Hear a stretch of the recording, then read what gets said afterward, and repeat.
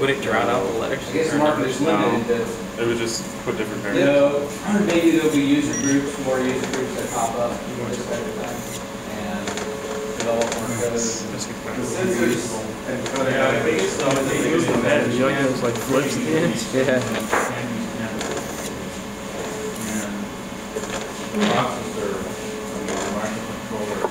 Yeah, did this change? Yeah, the pin changed. I think it was moved down.